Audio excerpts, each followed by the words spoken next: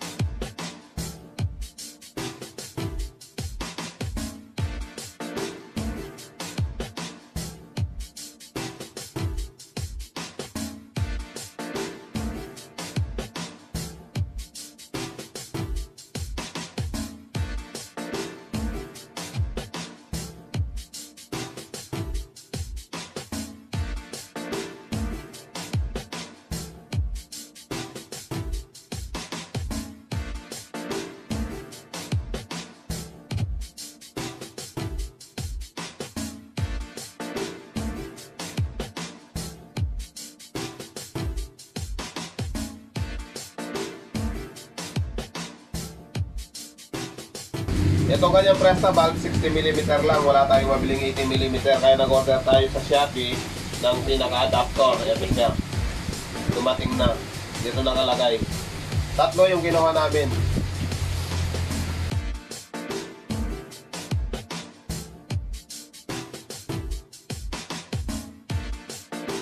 So yun guys, ito yung isa. Saka ito pa yung isa. Bali, tatlo. Guys, ilalagay natin to. Ito mas maiksi yung ilalagay natin para lalabas dito sa may rim. Masyado kasing malapad yung rim natin. Wala tayong mabiling 80mm na Presta valve. Ayan. I-open lang natin to. Lagay natin to.